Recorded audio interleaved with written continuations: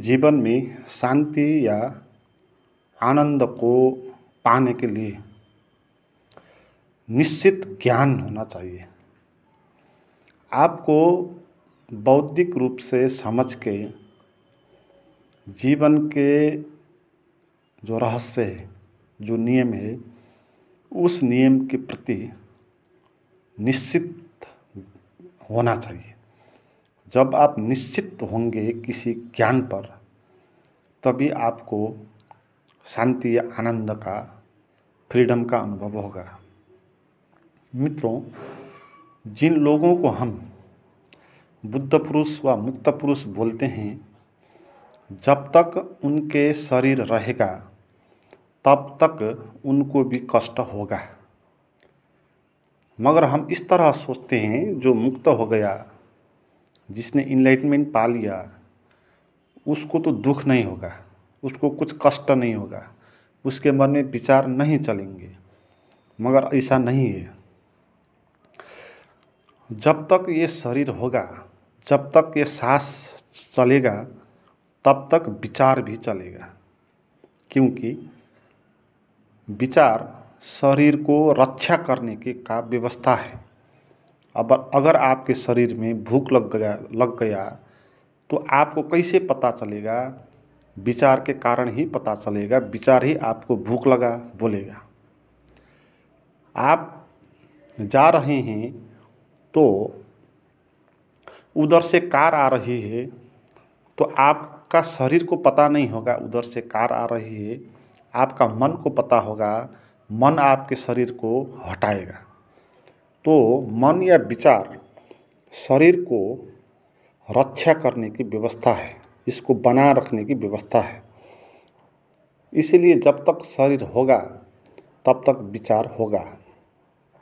पहली बात, इसलिए मुक्ति व आनंद या मोक्ष पाने का अर्थ इस किस्म का नहीं है कि जैसे किसी को, किसी के मन में विचार ही नहीं आते, किसी के शरीर में बीमारी ही नहीं होती किसी के शरीर में कष्ट ही नहीं होता, इस किस्म का है नहीं। किस किस्म का है? मुख्य का अर्थ उसके बारे में हम बात करेंगे। मित्रों, अगर शांत होना चाहते हैं तो आपको शांति की कामना छोड़नी चाहिए, क्योंकि जीवन का ये नियम है, जिस चीज़ को आप चाहोगे वो आपको नहीं मिलेगा।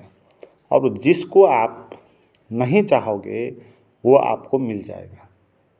ठीक उल्टा गणित है। जैसे दिमाग में जिस विचार को आप बोलेंगे कि नहीं आना चाहिए, वही विचार ज़्यादा आएगा। और जिस विचार को आप बोलेंगे कि ये विचार आना चाहिए, वो विचार आपको नहीं आएगा। तो अगर आप इस तरह सोचेंगे अपने जीवन में शांति लाने के लिए कि मुझे शांति चाहिए तो आपको शांति नहीं मिलेगी। तो शांति या आनंद व मोक्ष पाने का अर्थ ये नहीं होगा कि आप उसको चाहो। चाहने से कुछ नहीं होगा। अगर चाहने से हो गया होता तो कौन नहीं चाहता भाई? शांति, आनंद, ज्ञान, सभी लोग चाहते हैं। मगर किसी को ये मिलता नहीं है। तो इसीलिए चाहने का मार्ग इसमें नहीं है। और आपके जीवन में अशांति है तो उससे बाहर आना कैसे है, इसकी कला आपको जाननी चाहिए, वही निश्चिंत ज्ञान है।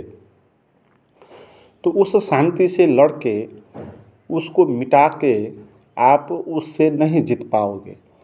मगर उससे बाहर आने का रास्ता क्या है? वो रास्ता ये है कि वो तो रहेगा। जीवन में जो अशांति है, मन में चलने जो विचार है, जो द्वंद्व है, वो रहेगा ही। सभी को रहेगा। बुद्ध पुरुष को, पुरुष के मन में भी इस किस्म का विचार चलते ही रहेगा। मगर बुद्ध पुरुष और हम में क्या फ़र्क है कि हम उस द्वंद्व में उलझ जाते हैं। बुद्ध पुरुष उस द्वंद्व से अछूत रहते हैं। द्वंद्व तो दोनों को ही होगा। मगर जो मुक्त पुरुष है, वो ये जानेगा कि ये शरीर में चिंता हो रहा है। शरीर में बीमारियाँ हो रही हैं। तो ये जान के वो अपने केंद्र में रहेगा और उसको इसका प्रभाव नहीं पड़ेगा। हमको क्या होगा कि जो द्वंद्व पैदा होगा, जो उलझन पैदा होगा होगा उससे हम दूर नहीं रहेंगे, उसी में हम चिपक जाएँगे और उसी को भोगेंगे। इसलिए कष्ट तो दोनों को ही होगा, मगर एक उससे अप्रभावित होगा, एक उसे प्रभावित होगा। तो मुक्त पुरुष कैसे अप्रभावित होते हैं, इस बात को जानना है। तो शांति या अशांति या बेचैनी है तो उससे मुक्त पुरुष कैसे अप्रभावित होते हैं? क्योंकि उन अशांति और बेचैनी से लड़के उनको नष्ट करके उनको उस अनुभव नहीं हुआ है। है ना? क्योंकि लड़के और चाहने से नहीं होगा, हमने ये बता लिया। तो वो किस प्रकार उससे अप्रभावित होते हैं कि वो लोग, वो मन, विचार, अशांति, चिंताएँ जो है, उसको वो लोग स्वीकार कर देते हैं, ठीक है? उसके, उसको वो स्वीकार कर देते हैं ठीक है, ये है, ये होगा ही। जब तक शरीर होगा, तब तक बीमारियाँ होगी। जब तक मन होगा, तब तक चिंताएँ होगी और सभी को होगी। इस तरह वो सोचेगा। वो मुझे क्यों हुआ हुआ चिंता, इस तरह नहीं सोचेगा। जैसे हम लोग सोचते हैं ना, मुझे क्यों चिंता हुआ? मुझे तनाव क्यों हुआ? मुझे दुख क्यों हुआ? मुझे ये बोलते हैं। वो इस प्रकार जानेंगे कि मुझे ही नहीं, सभी को होता है। जितने आदमी है, सभी का शरीर में सांस चलता है, लगातार चल रहा होता है।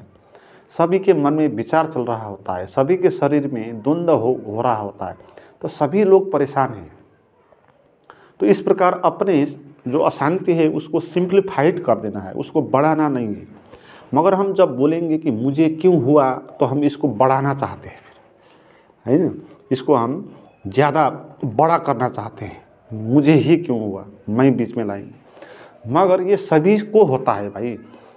सभी, कोई भी आदमी हो, चाहे सम्राट हो, चाहे गरीब हो, उसका शरीर है तो उसका शरीर में क्या होगा?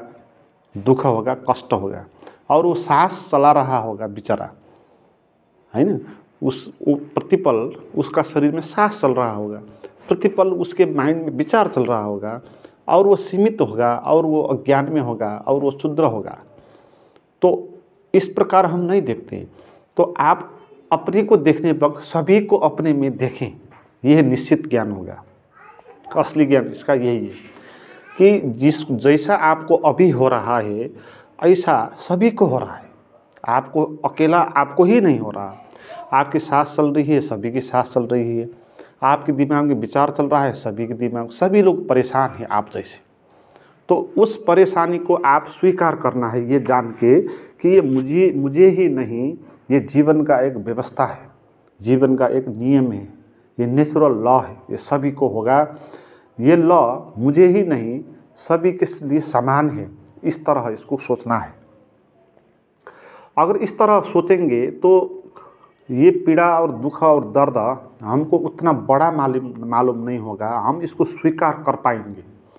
क्योंकि जहाँ सभी को एक नियम लगता है तो सभी लोग मान देते हैं, स्वीकार कर देते हैं। जैसे हमारे राज्य में लॉ होते हैं, बहुत सारे संविधान होता है तो वो सभी लोग उसको मानते हैं। अगर वहाँ पर कुछ गलत नियम लिखा हो तो भी सभी लोग स्वीकार करते हैं। क्योंकि वो सभी के लिए है, इसीलिए। अगर वहाँ पर किसी के लिए एक नियम, किसी के लिए दूसरा नियम हो तो हम विरोध करेंगे। मगर सभी के लिए है तो गलत नियम लिखा होगा तो भी सब लोग मानते हैं, मान रहे होते हैं, क्योंकि संविधान में और ऐसे आइन नियमों में बहुत सारी गलत चीज़ लिखी होती है, मगर सभी लोग मान देते हैं, उसको स्वीकार कर देते हैं, क्योंकि ये सभी के लिए है। ऐसा ही ये दुख, चिंता, ये जिस, जहाँ जिसका भी शरीर हो सभी को ये होगा। तो इसलिए इसको स्वीकार करना है। जब आप इसको निश्चिंत होकर ये बात जानेंगे और इसको स्वीकार करेंगे तो क्या होगा कि आप इससे कुछ भीतर प्रवेश, इससे आप भिन्न होते चले जाएँगे। पहली स्थिति में आप इसका विरोध करते थे तो आप इससे संबंधित हो जाते थे। अब स्वीकार कर देते हैं तो स्वीकार करने के कारण क्या हो जाता? कि उस चीज़ का प्रभाव हम पर कम पड़ जाता और हम उससे थोड़ा हट जाते। हम अपने अंदर घुस जाते। तो ऐसे ही अपने अशांति और बेचैनी को स्वीकार करना है। उसको ना मत बोलना है। ये है, सभी के जीवन में है। तो इसको आराम से इसको भोगना है। स्वीकार भाव से भोगना है। इसको स्वीकार करना है। तो जब आप स्वीकार करेंगे तो आप धीरे धीरे पीछे हट जाएँगे और आप अपने भीतर का उस केंद्र पर पहुँच जाएँगे जहाँ आपको कोई भी विचार, चिंतन, चिंता, बेचैनी इत्यादि पहुँच नहीं पाएगी। है तो ये बात ऐसी है कि जैसे बाहर गर्मी के दिन है, सूरज की तेज किरणें टपक रही है और कोई आदमी बैठा है बाहर तो उसको उधर गर्मी हो गई तो वो क्या करेगा? वहाँ से हट के जहाँ पर छाया है, वहाँ पर बैठेगा। तो जो निश्चिंत ज्ञान है, जो बुद्ध पुरुष है, वो इसी प्रकार के होते हैं। मन में बहुत गर्मी है, शरीर में बहुत गर्मी है तो उस गर्मी को वो भोगना नहीं चाहते, इसलिए हट जाते हैं और छाया में बैठ जाते हैं। मगर गर्मी वहाँ पर है, शरीर पर, वो कहीं नहीं गई। मगर वो वहाँ से पीछे सरक जाते हैं। तो हमारे अंदर सरकने का ऐसा केंद्र है, जिसको आत्मा बोलते हैं, जिसको चैतन्य बोलते हैं। हमारे भीतर जहाँ जिसको बोला गया है कि गहरे पानी पैठ, गहरे में अपने भीतर एक केंद्र है, जिसको उपनिषदों में कहा गया, एक अंतर गुफा है अंतर गुहा तो वो गुहा स्पर्शित है, शरीर से और विचार से। तो अगर आप वहाँ पर पहुँच जाएँगे तो शरीर और मन का प्रभाव आप पर नहीं पड़ेगा। जैसे आप छाया में चले जाएँगे तो सूरज का प्रभाव आप, आपके ऊपर नहीं पड़ेगा। मगर आपने सूरज, गर्मी में आप बैठे हुए सूरज आपको दुख दे रहा है तो अगर आप सूरज के ऊपर पानी छिड़कना, छिड़कने लगे सूरज से आप फाइट करने लगे तो आप वो गर्मी से बाहर नहीं आ पाएँगे। मगर यही करते हैं हम। जो लोग शांति चाहता है, वो यही इसी तरह का प्रैक्टिस करता है। वो सूरज के गर्मी को हटाने के लिए सूरज में पानी छिड़क रहा होता है या हथकेला से उसको रोकना चाह रहा है। मगर वो नेचुरल चीज़ है, उसको हम हटा नहीं सकेंगे। सूरज को हम वहाँ से हटा नहीं सकेंगे। पानी छिड़क के उसको हम बुझा नहीं सकेंगे। मगर हम इसी तरह का प्रयास करते हैं। जो भी लोग ध्यान और अध्यात्म और साधना इस तरह के प्रैक्टिस करते हैं, उनमें से 99 परसेंट लोग इसी तरह के कार्य करते हैं। मन से, चिंता से, बेचैनी से बाहर आने के लिए उसको पानी से बुझाना चाहते हैं और कुछ प्रयास करते हैं। जैसे सूरज, मगर जो बुद्ध पुरुष होगा, वो उससे पीछे सरकेगा। वो जहाँ छाया है, वहाँ घर वहाँ जाकर बैठेगा। तो इसी तरह हमने भी अपने भीतर का छाया विश्राम स्थली हमारे भीतर है, जहाँ पर बाह्य विषयों का प्रभाव नहीं पड़ेगा, वो शांति हमारे अंदर है तो वहाँ पर सरकना है। है ना? मन और विचार को कुछ नहीं करना है, वो अपनी जगह पर होंगी ही, मगर हम पीछे सरकना है वो पीछे सरकने का शर्त क्या होगा कि आप उसको स्वीकार करना होगा, उसको सिंप्लीफाइड करना होगा। सभी को ये होता है, ये जानकर उसको स्वीकार करना होगा। अगर विरोध करेंगे, मुझे ही क्यों हुआ बोलेंगे तो आप उसी में उलझ जाएँगे और आप पीछे जो आपके अंदर का जो छाया है, जहाँ पर वृक्ष है एक, बहुत शीतल देने वाला वृक्ष तो वहाँ पर आप जा नहीं पाएँगे। तो वहाँ पर जाने के लिए आपको उस मन और शरीर की जो गर्मी है तो उससे हटना चाहिए। उससे हटोगे कैसे? उससे संबंध तोड़कर। है ना? संबंध तोड़कर ही हम कहीं किसी जगह से हट सकते हैं। नहीं तो आप उसी से बच जाएँगे ना। और वो अशांति क्यों हुई मुझे मुझे ये नहीं होनी चाहिए। इसको मैं हटा, हटाना चाहता हूँ। इस प्रकार हम दिमाग में विचार करेंगे तो हम उससे संबंधित हो जाएँगे। और हम उसी में बधे रहेंगे और हम पीछे जाने का रास्ता बंद हो जाएगा। तो इसलिए पीछे जाना चाहते हैं अपने अंदर तो आपको ये शर्त है कि अपने जीवन की जो चिंता, बेचैनी, मन, मानसिक और शारीरिक जो समस्या है द्वंद्व है, उसको आपको सिम्प्लीफाइड करना चाहिए। ये नेचुरल है, सभी को होती है। और उसको स्वीकार भाव से उसमें रहना चाहिए, उसके प्रति जागना चाहिए। उसको गलत नहीं बोलना चाहिए। और उसे संबंध हटाना चाहिए। और संबंध जब हटाएँगे तो आप पीछे पीछे अपने भीतर का उस दुनिया में पहुँचेंगे जहाँ पर ये चीज़ें नहीं होंगी, जहाँ पर शांति और विश्राम और आनंद होगा। जब आप अपने भीतर का इस किस्म का वृक्ष देख पाएँगे, जान पाएँगे, एक बार उधर जाने की कला आप सीख जाएँगे तो आपके जीवन में फिर अध्यात्म आ गया। तो फिर आप जब भी अशांति हो, बेचैनी हो तो तुरंत आप जो है वहाँ पर सड़क के बैठने लगोगे और आनंद ले लेोगे सुखी जीवन इस किस्म का आपका होगा। तो मित्रों, ये शारीरिक और मानसिक जो गर्मी है, इसको सिंप्लीफाइड कैसे करना है और इसको स्वीकार करके, इसको संबंध हटा के अपने अंदर में पीछे कैसे सरकना है और उस विश्रांति देने वाली छाया में कैसे बैठना है, इसके अगर आप प्रैक्टिकल प्रैक्टिस करना चाहते हैं तो आप मेरे कुछ प्राइवेट मेडिटेशन की वीडियोज़ हैं, वो आप सुने और करें। उस, उन वीडियोज़ को पाने के लिए मुझे आप व्हाट्सएप पर बात करें, उसका नंबर मैंने डिस्क्रिप्शन में दे रखा है। Thank you